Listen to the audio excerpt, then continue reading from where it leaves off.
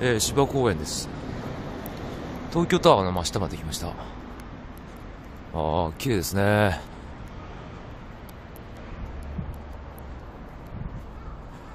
えー、早朝の東京タワーですね。朝6時ぐらいですが誰もいません。一人で独占して見えるのがいいですね。夕方のライトアップはねあのかなり人混みがいますけどこの時間は。私だけです。ああ、愛宕山のビルも見ますね。芝公園の駐車場ですね。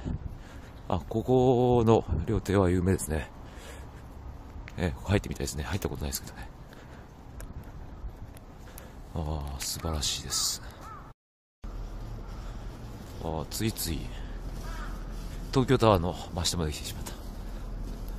これはテレビ東京かな。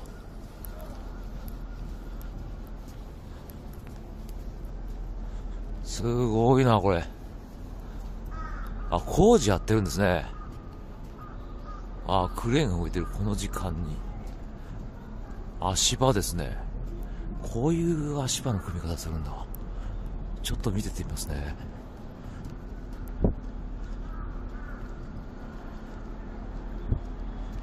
ああ、工事やってるんですね。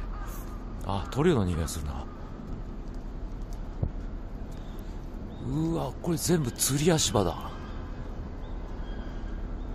すげえな。うわ、すごい足場だ。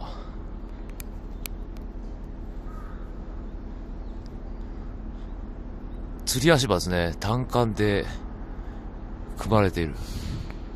すごい。しかもこの時間から作業してますね。